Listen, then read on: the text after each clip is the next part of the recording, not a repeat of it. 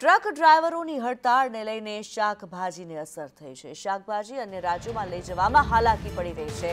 શાકભાજી અન્ય રાજ્યમાં ન જતા ભાવમાં પણ ઘટાડો થયો છે.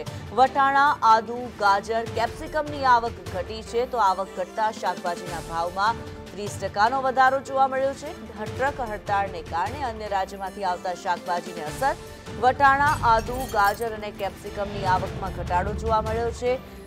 આવક ઘટતા ત્રીસ ટકાનો ભાવમાં વધારો થયો છે. તો આ તરફ ગુજરાતના ટામેટા હોય, કોબી, મરચા, ગવાર, ભીંડા, અન્ય જે રાજ્યોમાં જતા શાકભાજી છે તે હડતાળને કારણે અટવાઈ ગયા છે અને શાક અન્ય રાજ્યમાં ન જતા ભાવમાં ઘટાડો થઈ રહ્યો છે.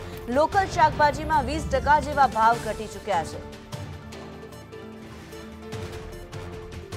તો ટ્રક ડ્રાઈવરો અત્યારે હડતાળ પર છે અને આ જ કારણથી શાકભાજીનું જે ટ્રાન્સપોર્ટેશન છે તેના પર અસર થઈ રહી છે. શાકભાજી જે અન્ય રાજ્યોમાં જતા હોય છે, જે નિકાસ થતા હોય છે, અન્ય રાજ્યોની અંદર તે અન્ય રાજ્યોમાં ન પહોંચતા શાકભાજીના ભાવમાં ઘટાડો જોવા મળી રહ્યો છે. જ્યારે અન્ય રાજ્યોમાંથી ગુજરાતમાં આવતા શાકભાજીમાં વટાણા હોય, આદુ હોય, ગાજર હોય, આ પ્રકારના જે શાકભાજી છે તેના ભાવમાં ત્રીસ જેવો વધારો અત્યારે જોવા મળી રહ્યો છે. કારણ કે આ શાકભાજીની આવક અત્યારે ઘટી ચૂકી છે અને અત્યારે ત્રીસ ટકાનો ભાવ વધારો જોવા મળી રહ્યો છે. જે શાકભાજીનું ટ્રાન્સપોર્ટેશન છે, તેને અત્યારે સૌથી વધારે અસર જોવા મળી રહી છે. શાકભાજી કે જે જલ્દી બગડી પણ શકે છે, ત્યારે જે શાકભાજીની ટ્રાન્સપોર્ટેશન અત્યારે નથી થઈ રહ્યું. ગુજરાતમાંથી બહાર નથી જઈ રહ્યા શાકભાજી, જ્યારે અન્ય રાજ્યોમાંથી ગુજરાતમાં અમુક શાકભાજી જે નથી આવી રહ્યા, તેને કારણે ભાવની અંદર અત્યારે અસર જોવા મળી રહી છે. ગુજરાતના શાકભાજી જે છે તેમાં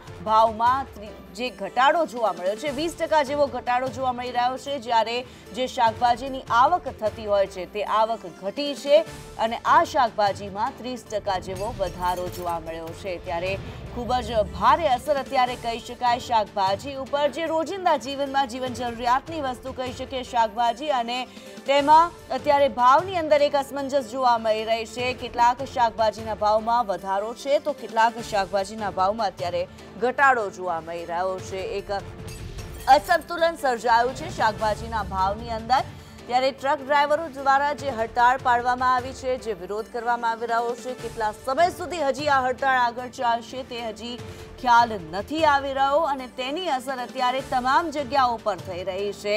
ચાહે દેશભરના અન્ય રાજ્યોના પેટ્રોલ પંપની વાત કરવામાં આવે તો પેટ્રોલ પંપ પર લાંબી કતારો જોવા મળી રહી છે. જ્યારે બીજી બાજુ શાકભાજી કે જે જીવન જરૂરિયાતની વસ્તુ છે, તેના ભાવની અંદર અત્યારે અસંતુલન સર્જાયું છે. ગુજરાતમાંથી બહાર જતા જે શાકભાજી છે, તે બહાર નથી જઈ રહ્યા, તેમની નિકાસ નથી થઈ રહી અને આ જ કારણથી ગુજરાતના શાકભાજીમાં ઘટાડો, ભાવમાં ઘટાડો જોવા મળી રહ્યો છે. જ્યારે જે શાકભાજીની આયાત થતી હોય છે, આવક થતી હોય છે, જે અન્ય રાજ્યોમાંથી શાકભાજી આવતા હોય છે, આ શાકભાજીની આવક ઘટવાને કારણે થઈને આ શાકભાજીના ભાવમાં ત્રીસ ટકા જેવો વધારો જોવા મળ્યો છે. ટ્રક ડ્રાઈવર્સે જે પ્રમાણે હડતાળ પાડી છે, ટ્રકોના પૈડા થંભી ચૂક્યા છે અને આ જ કારણથી શાકભાજીના ટ્રાન્સપોર્ટેશન પર અસર થઈ છે.